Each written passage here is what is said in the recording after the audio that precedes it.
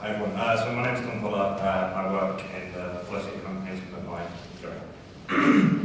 Uh, I've been at Mind for about two and a half years now, and uh, the reason I wanted to work there was because uh, university I experienced mental health problems myself. Uh, started there, lasted for a few years, unpleasant experience, but I was fortunate enough to have uh, friends and family around me who were supportive and understanding. Uh, I was fortunate to be in a financial position where I wasn't a threat of falling into poverty and debt uh, following on from what Dan talked about, I was fortunate enough to be in a you know, cultural and ethnic group that doesn't face discrimination in the health system.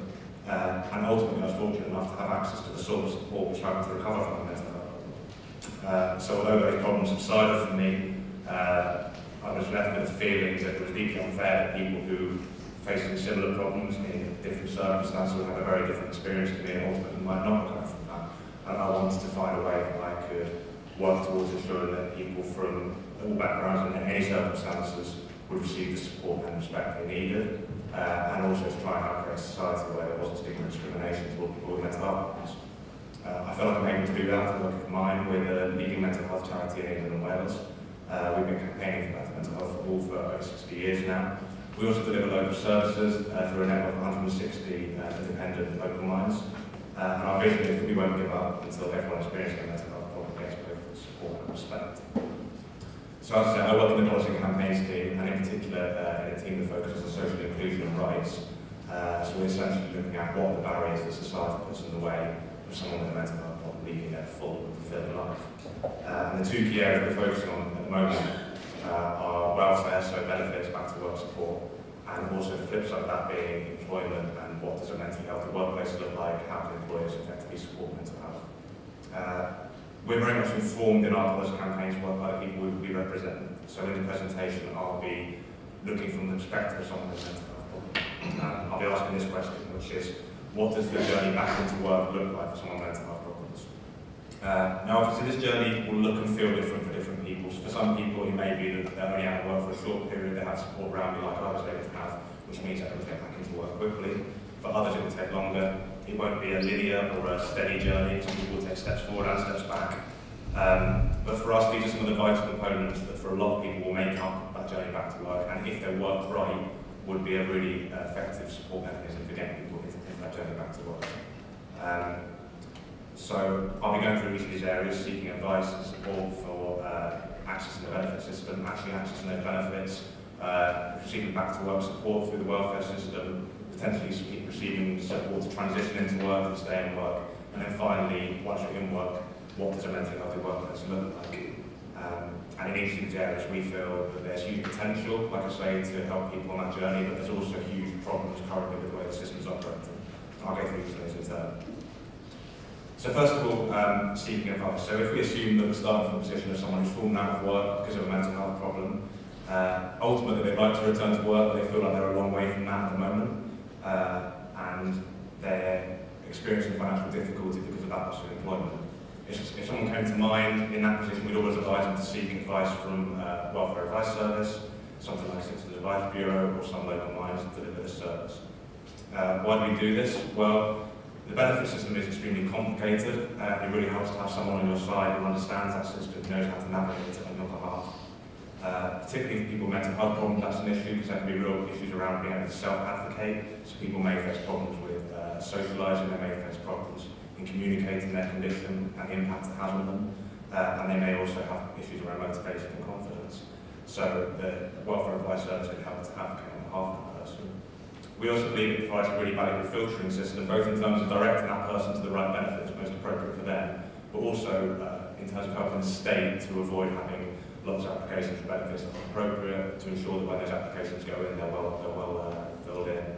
Uh, so we think ultimately it probably saves the government a lot of money to have this system in place. And ultimately, you've got a greater chance of success in getting the benefits you need if you've got that support on your side. Uh, however, at the moment, these services are under strain and under threat. Uh, local authorities across the country are being forced to make uh, significant cuts, and many of these cuts are coming from uh, advice services. next year change to legal aid funding will kick in, which will also uh, take a lot of funding away from these services. And alongside this, there's increased demand for the services. So uh, both because people are falling out of work, but also because there have been significant changes to the benefit system over the last few years, uh, which have meant more people are seeking this sort of support.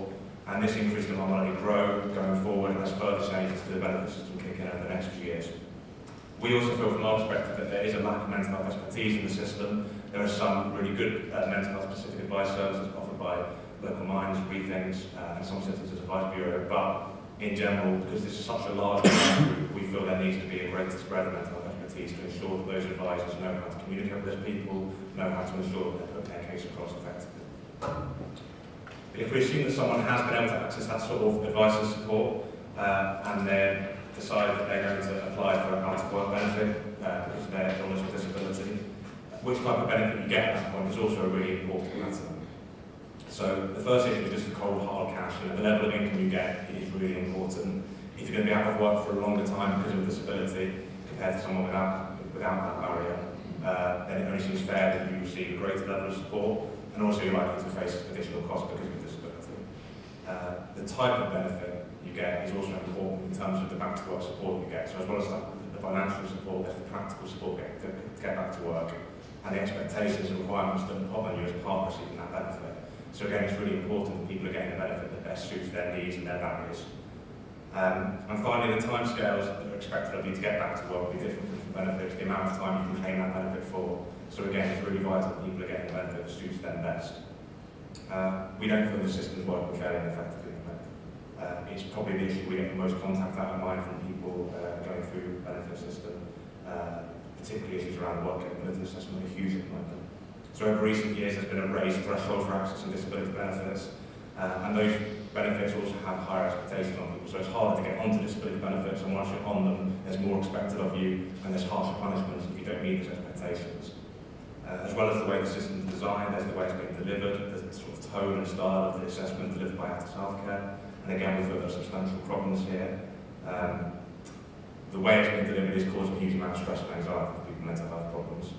That's partly because uh, we don't feel there's enough, again, enough mental health expertise within Actos to ensure that people are treated in an appropriate manner and that their barriers and needs are taken into full account. And ultimately, there's just too many wrong decisions. Huge numbers of people are overturning fit for work decisions in the tribunal. Uh, and we believe that there are many more who, because they don't have access to the sort of advice and support I was talking about earlier, may just fall through the gaps. So maybe they get a fit for work decision, uh, they don't feel able to challenge it because they don't have that support behind them. So they go into the wrong benefit, maybe they go into job seekers allowance. Uh, they can't cope with the requirements that are put on them as part of that benefit. So maybe they fall out of the system or they're sanctioned and then they're left with no support at all. And we think this is probably a big problem and it's a hidden problem because it's hard to keep track of those people. Um, Job seekers allowance is a benefit for people who are essentially ready to work now. So if you receive a fifth work decision as someone who has mental health problems and faces additional barriers because of that, those two benefits just don't, those two factors don't match up. And ultimately, the, work ability assessment is really the linchpin at the moment of the benefit system for people with disabilities and illness. Uh, so if the decisions are being made wrong at this point, it undermines the whole rest of the system going forward. But again, we'll assume that someone uh, has managed to negotiate that system, they've gone through the work capability assessment, and let's say they've been put in this middle group, the work activity group. So basically, the system's recognising that you face additional barriers, because got a mental health problem, you're not ready to work now, but given the right time, given the right support, you could get back into work. Um, so the first thing to say is that Mind is totally clear that we believe work can be good for mental health, uh, and we want to see many more people with mental health problems get back into work. However, the work is good for you message has been a bit simplistically used uh, in some, in some parts uh, over the last few years. So we know that the right sort of work, uh, access with the right sort of support is certainly good for mental health.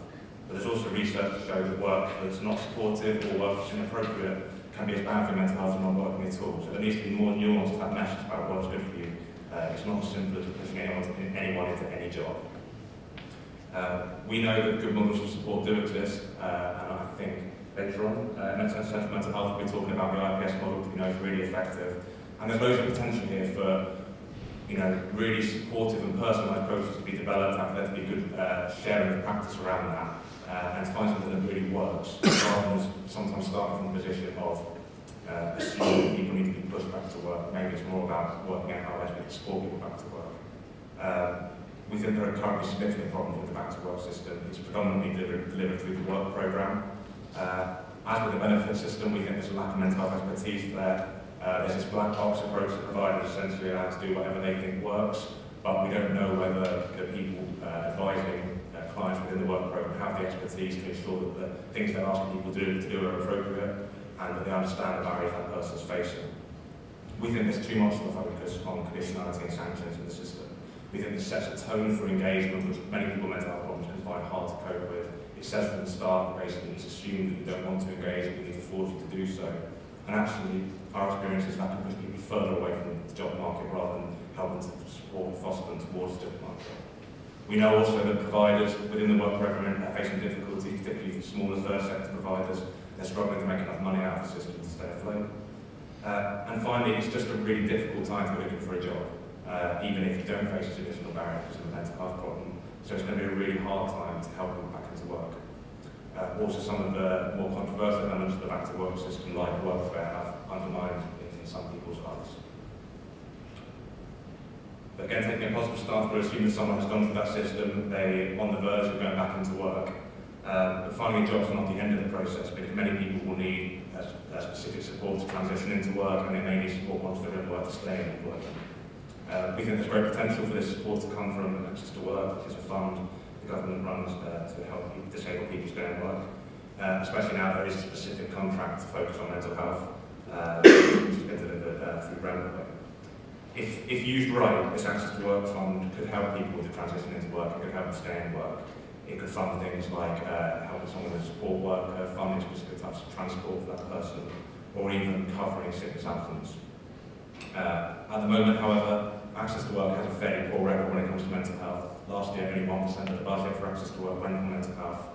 Uh, it's partly because there's simply more obvious ways in which it can be used for physical health. So, you know, fitting wheelchair ramp was fairly obvious use. It's harder to see how you might use it for mental health. So we need more innovation in that area. But also because until now, there just hasn't been enough emphasis on helping that group of people. We think there's also a need to be able to guarantee access to that funding uh, before you get the job. So at the moment, that fund's only available once you've secured a job for mental health. But we feel if that funding was available and guaranteed before you went for that job, that would give people greater confidence to go for job applications and it may also provide a way of reassuring employers that uh, the additional cost that might be incurred as a result of employing someone with a long-term health condition can be supported by the state.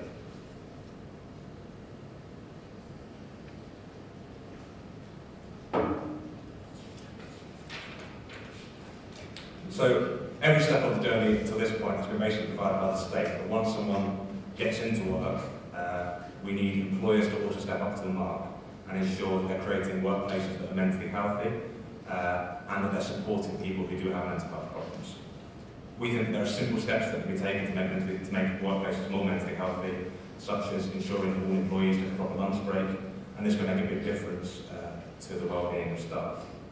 There's good advice and resources out there for employers, uh, such as those produced uh, as part of our Taking Care of Business campaign, which can uh, help uh, employers to ensure they can support people with mental health problems effectively.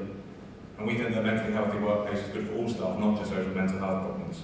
So there's evidence to show that having a workplace which is mentally healthy can help productivity and ultimately better for the business or organisation. So we believe there's a business case to be made, there's a legal case because of the Equality Act, and also there's a moral case to be made for ensuring that uh, workplaces are mentally healthy and employers to support people with mental health problems. And it's not a niche issue, and it's not something that we low down the list of priorities for employers or government. It places a huge cost uh, on the economy, so the Centre for Mental Health estimated the annual cost in terms of absence, reduced productivity, staff turnover as a result of mental health is around 26 billion a year to the UK economy. It's not something that only affects a small number of people. One in six workers reported uh, being affected by conditions like anxiety, uh, depression, unmanageable stress. And also work can play a role in creating mental health problems. So 5 million workers said they felt very or extremely stressed as a result of their work, and half a million believed it was actually making them ill.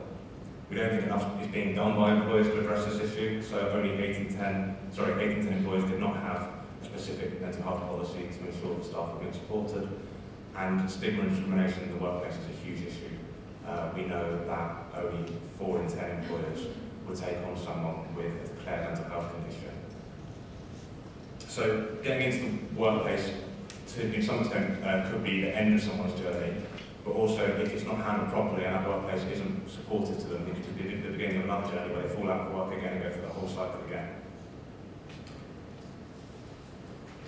so this is what the whole journey looks like at the moment from our perspective. within the, I'd say that within there's a huge amount of potential for this to be an effective mechanism to support back into work, but there's a huge amount of work to be done in these, these areas to work properly. One thing I haven't mentioned until now, uh, and I'm sure this is something that will be of particular interest to you, is how the system interacts with people's health support. Uh, essentially, we feel there isn't enough of a connection between the support someone receives to help them recover from the mental health problem and the support they'll be receiving alongside that to help them get back into work. So when it comes to advice services, there can be better signposting between health and advice services and vice versa. When it comes to the benefit system, uh, there simply isn't enough notice taken of someone's health and social care professionals when it comes to deciding eligibility for benefits. Back to work support is often treated as an entirely separate process from someone's health support and can actually lead to contradictory advice being placed on that person. And sometimes, uh, and once someone's in work, uh, mental health support only tends to kick in when someone is experiencing a significant problem, and we feel there could be more work to be done to ensure that health professionals are helping people within work to stay mentally healthy and to avoid problems. Uh, if someone's out of work because of a mental health problem, then the support they're receiving to recover from that mental health problem and the support they're receiving to get back into work, if that's appropriate at that time, should be intertwined and connected and complementary. And we don't think that's happening at the moment. Uh, in terms of making the system better as a whole, what we're doing in Mind is focusing on two main areas. So we're campaigning for improvements to the welfare and benefit system, uh, doing a lot of work around work capability assessment, but also trying to ensure there's advice available for people, trying to ensure that back to work support is working effectively, looking at alternative models of back to work support, and also working with employers, employed and employees to try and ensure that, men, that workplaces are more mentally healthy and people within those workplaces who do have mental health supported. Uh, you can find out more about the work we're doing by going to our website. Uh, you can get in touch with me directly if you have any questions. I think there's probably a bit of time now for questions. Yes. Thank you very much. Yeah.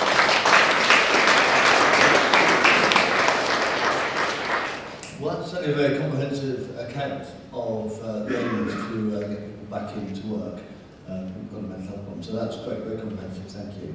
Mean, there are a number of issues there, and um, you know, credit to you, Mind, and others, organisations, to keep me focused on this, because the things are quite stacked up against us in many respects, but that is always the time to work harder, to try and make sure that you get people back to it. Because we've said, you know, it, it, it's um, employment, appropriate work, paid work is good uh, for your health. We all know that. So, um, can you just let me know if you'd like to ask a question? Um, so there's one there. So, any others?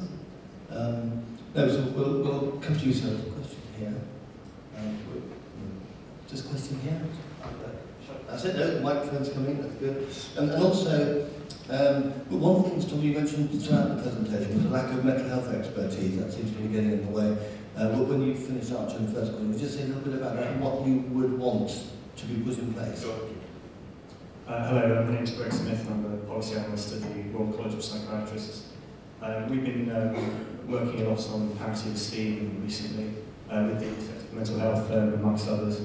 And um, I'm absolutely astounded to see that only 1% of the access to work budget is spent on mental health. That's surely a key parity issue. Uh, I wonder, uh, just for, for my own understanding, if you could uh, say a little bit about uh, what that 1% itself is being spent on and whether uh, to achieve parity it would just be a case of scaling up that kind of um, uh, investment or if uh, more innovative, um, I suppose, approaches are needed. Yeah, so um, I should say that that's last year's figure, now there is a specific contract for us to work for mental health to be delivered through Rendell, so the hope is that because there's a specific focus on that now, that will scale up. Uh, in terms of what people are using it for, we have we only have a few accounts, but it's things like um, maybe covering the cost of uh, taxis if you struggle with public transport. It could be funding to have someone support you in work for the first few weeks of work, and potentially it could cover the additional costs that the employer faces if you take if you need to take sickness absence. But I think you're right. The innovation is a really key part of it. I think we see something across a lot of benefits, and it's similar with, with DLA for a long time, where uh, it's kind of assumed that these that, that these benefits and this support is for, is for physical disability, and traditionally it's been more accessed by people with physical disability. Uh, and it takes a while for sort of mental health to be, well, two sides of it. It takes a while for people mental health problems to recognise that support they can have access to. Uh, and it takes a while for the system to get good at understanding how it can support people mental health problems. So there needs to be sort of development from both sides. Part of it's about publicising it, it's just not very well known, it's often described as government's best kept secret. Um, giving people ideas about how they could use it be, would be a good way forward. Yeah, and basically innovating within that fund so, so that uh, there's greater understanding of how that fund can support people. So much. Question at the back there. Challenge for the runners, the mic- microphones. Hi, um, I'm Mary Dunleavy from the Access to Work programme. Um, so we are at the back of the hall and happy to talk to you about various ways in which we can spread the news. And part of what we've been doing over the last 12 months is going out and talking to a whole variety of organisations, including um, the psychiatrists, about the programme and how it can be used. It's very flexible, as Tom said, and it can be used in a number of ways to support people with mental health back to work. Um, we are listening, so if you come up with better ways, we'll certainly look at them. But um, if you come and talk to us at the back of the room, we'll certainly take your details and be happy to talk to you further about the programme. Thank you. Thank you for making yourself known, that's great. And, and a question right next to you. Chris Beeching, I'm Chief Exec of Tunbridge Wells Mental Health Resource. We provide social care and support for around 450, 500 um, service users with mental health issues, um, delivered through three projects. Um, one of the stumbling blocks we've come across repeatedly is an historical diagnosis by a GP with then the uh, mop-up phrase, don't worry, you'll never have to work again. Um, unfortunately, in our local job centre, the Disability Employment Advisor no longer exists, and Kent Supported Employment, though very willing, has extremely limited experience of getting people with mental health issues back into the workplace. We've now had to take some of our very precious core funding and set up partnership agreements with local businesses on a well, if you've got somebody who's starting to buckle, refer them to us rather than GP. We'll do that side of things, and if we've got somebody work ready, we'll do a swap for a while and see whether that works. That surely can't be the best answer. There must be something else that can happen. Yeah, I think you're right. I think, go back to the first thing you said, there's, a really interesting issue here because for a long time there was a problem, and there probably still is a problem, like you say, with GPs and to some extent the mental health system in generally, in general, sorry, um, setting low aspirations for people, and, and, and, and that sort of assumption that, yeah, you've got, you've got serious mental health problems, so you won't work again. And so for a long time, organisations like Mind were calling for greater efforts to be made to help people back to work. Um, but in a way, that pendulum swung from sort of the incapacity benefit situation where people were just with their benefit and left to this, it's almost swung entirely the other way where people are basically being almost coerced back to work. Uh, and we don't think it's an effective way of supporting people. Um, I think right, there's a lot to be done about finding methods that work, but in the current situation with, like say, funding being cut, um, people struggling to access all sorts of support, DLA is going to get harder to access when it becomes personal independence payment and social care thresholds are being raised all over the place and it's often hard to access social care for mental health anyway.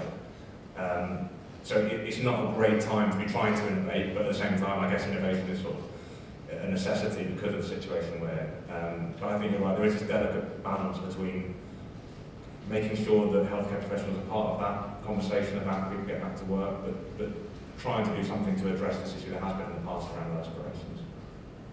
Uh, I think you raised some really good points, and it's something that we're, we're concerned about, we're active about within the Centre for Mental Health and, and the wider mental health body. It reminds me of a, it reminds me of a round table we had about a year ago that was funded, sponsored by New Philanthropy Capital, work commissioned by uh, Barclays Wealth.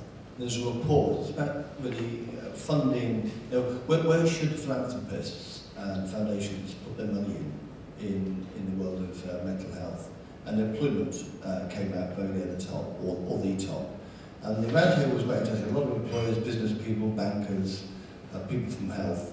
Um, and we explored the notion of individual placement and support. We're going to be hearing a little bit more about that after coffee. A model that will help address some of these issues for mental health expertise. it, needs, it needs investment uh, and government's running out But uh, employers and businesses were at the point of thinking, this might be an area that's worth investing in. So I think we need to just keep going with that message and uh, we'll see where that takes us. But um, very helpful contribution. Tom, it was an excellent presentation. If we could just uh, finally show our appreciation to Tom and then we'll get to coffee.